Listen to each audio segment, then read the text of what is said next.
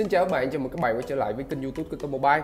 Trên bàn của mình hôm nay là chiếc Samsung Galaxy S7s phiên bản thị trường Hàn Quốc. Đây, nó không có dòng chữ Galaxy S7s nha. Dòng chữ Hàn Quốc ở phía dưới này. Và hôm nay thì mình sẽ không sử dụng chiếc điện thoại này để làm bài build test, so sánh hoặc là đánh giá chi tiết camera Mà mình sẽ làm một thứ khác mà nó hữu ích hơn cho các bạn Đó chính là cài một bản ROM trên chiếc Samsung Galaxy S7s này.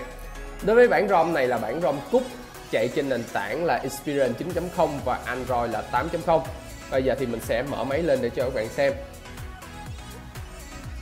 Cái logo khởi động sẽ là logo của Samsung Global luôn, chứ không phải là logo của nhà mạng nữa nhé.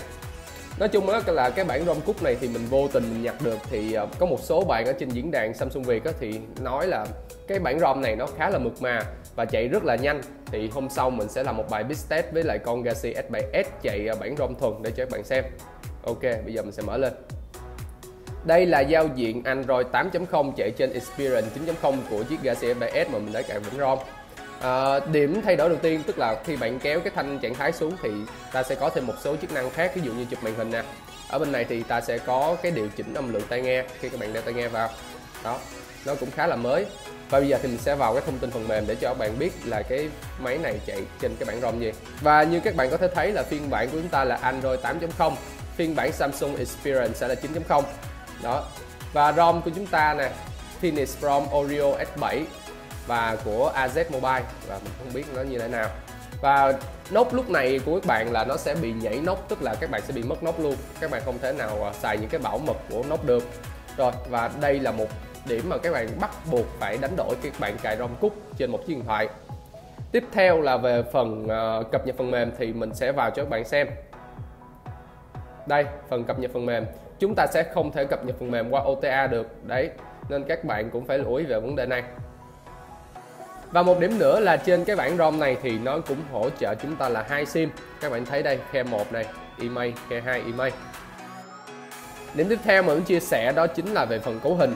À, nói cấu hình thì cũng không phải đó chính là về phần mà trải nghiệm của bạn.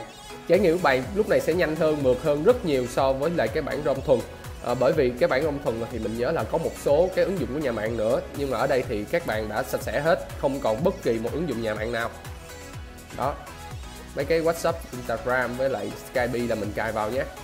Đây có một số cái ứng dụng của Samsung luôn nè. Nhưng mà uh, trừ cái ứng dụng quà tặng Galaxy ra thì mọi thứ chúng ta đều có thể sử dụng bình thường được một điểm tiếp theo nữa mà muốn chia sẻ đó chính là về phần tốc độ khi mà cài cái bản ROM này. Cái tốc độ của chiếc Galaxy S7s đã được cài bản ROM thì mình đã có test thử thì nó sẽ nhanh hơn cũng đôi chút so với lại chiếc Galaxy S7s mà chạy ROM thuần. Ok, thì mình sẽ show cái tu lên cho các bạn xem. Máy Galaxy S7s mình đo được là 167.000 điểm, trong khi ở trên chiếc LG V30 sử dụng con chip là Snapdragon 835 sẽ có 173.000 điểm thì các bạn có thể thấy là một cái số điểm phải nói là khá là cao.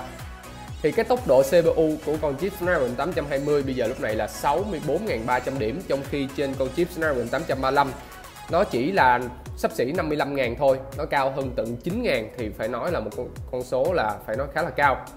À, điểm GPU của nó thì uh, hơi thấp là chuyện bình thường bởi vì cái GPU ở trên Galaxy S7s thì nó phải thấp hơn là so với lại LG V30 Plus và như vậy thì cũng có thể thấy được là cái hiệu năng cũng như là cái tốc độ trên chiếc Galaxy S7s đã được cải thiện so với khi các bạn đã cài cái bản ROM này vào. Và mình cũng đã thử chơi một số cái tựa game ở trên chiếc Galaxy S7s này rồi thì mình cảm thấy là nó rất hài lòng, nó rất mượt. Và một điểm thứ hai mình chia sẻ là khi mà mình chơi những cái tựa game nặng á thì cái nhiệt độ mà tỏa ra từ chiếc máy này nó không có quá nhiều như khi mà mình chưa cài bản ROM. Thì phải nói là cái bản ROM này nó cực kỳ mượt vì vậy những cái trải nghiệm của mình ở trên chiếc Galaxy S7s này nó càng thu hút mình hơn. Một điểm cuối cùng mà mình chia sẻ đó chính là về phần thời lượng pin. Cái thời lượng pin của trên ờ, cái bản ROM này thì mình thấy là nó khá là ổn định. Mình chơi game khoảng ờ, chơi PUBG khoảng 10 phút thì nó tụt khoảng ờ, 3% pin. Và đó là một con số phải nói là cũng khá là ấn tượng. Tóm lại khi các bạn cài bản ROM trên chiếc Galaxy S7s này thì các bạn sẽ được gì? Thứ nhất là các bạn sẽ có một hiệu năng nhanh hơn. Thứ hai là những cái hoạt động, những cái ứng dụng đó, nó sẽ chạy mượt mà hơn uh, cái nhiệt độ trên máy nó cũng tỏa ra ít hơn so với khi các bạn không có cài bản ROM này. Nhưng ngược lại thì các bạn sẽ chịu một số rủi ro như sau. Thứ nhất là các bạn sẽ bị mất nóc. Mất nóc thì các bạn sẽ khó có thể nào được bảo hành. Và thứ hai là nó sẽ không có thể nào cập nhật OTA vì vậy thì các bạn sẽ xài cái bản ROM này luôn cho đến khi mà các bạn kiếm được một bản ROM khác để các bạn cài vào.